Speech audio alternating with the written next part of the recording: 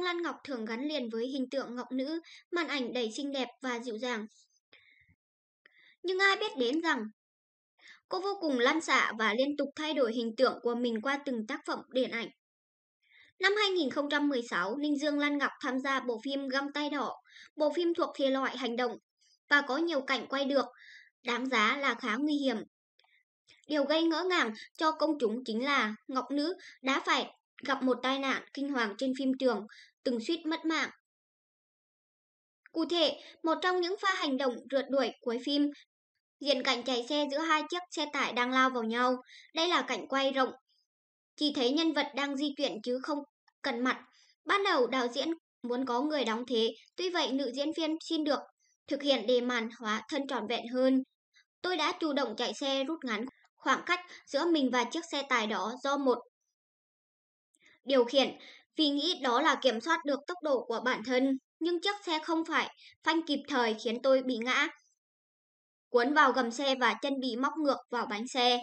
Lúc đó tôi tôi thấy xung quanh tối sầm, nỗi lo sợ, tôi sợ gãy chân, không đóng được phim nữa làm làm tôi hoảng hốt. Lan Ngọc từng chia sẻ về tai nạn kinh hoàng. Được biết đến, khi bước vào cảnh quay Lan Ngọc đã loảng choảng tay lái, tông vào đầu xe tải và bế và té bật xuống đường khiến cả đoàn phim đứng tim. Cú ngã chí mạng này khiến Quang Sự ngồi sau cũng trở tay không kịp, cả ekip phải ngừng quay lại để cấp tốc đưa nữ diễn viên đi cấp cứu. Trong cái rủi có cái may, do xe tải đã kịp thời. Do xe tải đã kịp thời thẳng đúng vạch quy định ban đầu nên cứu chạm không quá mạnh Lan Ngọc chỉ bị gãy xương chân và tạm hoãn để bỏ bột.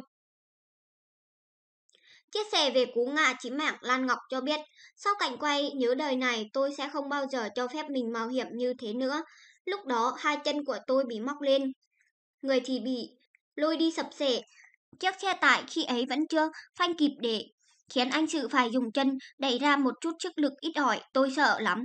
Cứ nghĩ đến cảnh mình sẽ bị què hoặc mù đi, què hoặc mù đi thì mong đóng phim nữa.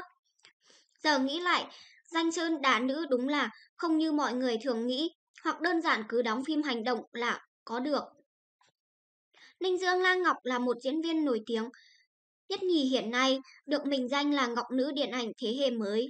Lan Ngọc là cái tên được kiểm chứng và bảo toàn chất lượng cho nhiều bộ phim truyền hình, phim điện ảnh với khá nhiều khả năng diễn xuất đánh giá cao.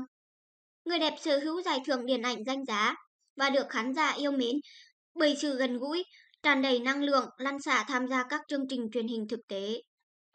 Ninh Dương Lan Ngọc vào vai sát thủ, ít ai ngờ một cô gái mạnh manh như Ninh Dương Lan Ngọc lại có cú đá kẹp cổ, đầy nỗ lực và rất điều nguyện trong găng tay đỏ. Tuy nhiên, cũng vì máu liều mà nàng cám đã một phen suýt mạng trên phim trường